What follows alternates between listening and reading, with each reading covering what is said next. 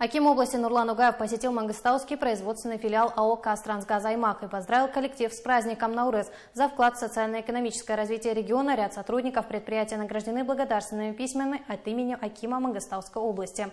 Мангостауский производственный филиал АО «Кастрансгаз», где работают порядка 100 специалистов, оказывает услуги по транспортировке газа и продаже товарного газа юридическим и физическим лицам. Предприятие реализуется масштабный проект, направленный на повышение экономического развития региона. Это строительство газопровода от АГРС Хорок в районе местности Сарша до курортной зоны «Теплый пляж» для обеспечения безаварийного и бесперебойного газоснабжения населения коммунально-бытовых и промышленных предприятий природным газом и улучшения пропускной способности газораспределительных сетей. Разработана проектно-смерная документация по 15 проектам.